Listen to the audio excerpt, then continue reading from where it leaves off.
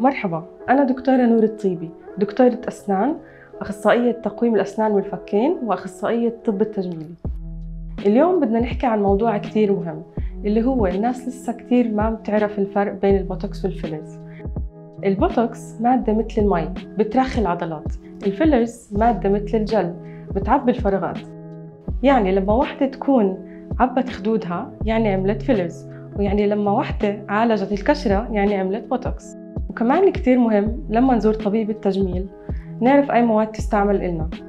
والأهم من هيك إنه هاي المواد تكون ماخذة الموافقة من منظمة الصحة العالمية مثل مادة رستلين اللي بنستعملها بعيادتنا.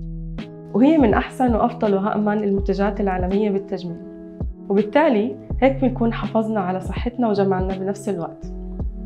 بزمن ال filler في كتير ناس عم تركز على شكلها واللي هو مش غلط بس عم تنسى بشرتها. في كتير ناس عم تركز على profile الوجه المثالي وعم تنسى صحة بشرتها.